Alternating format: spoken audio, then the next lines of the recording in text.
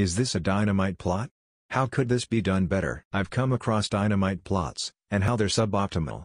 Some sources even go as far to say they're never acceptable, which until just now, I thought I agreed with where I've gotten confused is the visualization of categorical data so counts of the frequency of a few groups. An example I found is this figure 5 from this paper it's a dynamite plot for all intents and purposes bars with error bars, but I can't see how this is wrong or even suboptimal for the type of data can someone explain this to me? Thank you. I had a professor who used to criticize these kind of plots, though the phrase dynamite plot is new to me.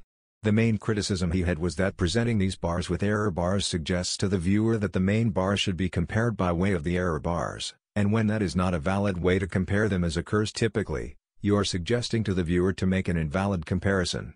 He was particularly critical of dynamite plots in which the standard errors of the estimates were used for error bars. Figure 5 linked above at least uses confidence intervals for the error bars, so the error bars at least give the viewer an idea of the precision of the individual estimates, so that isn't as bad.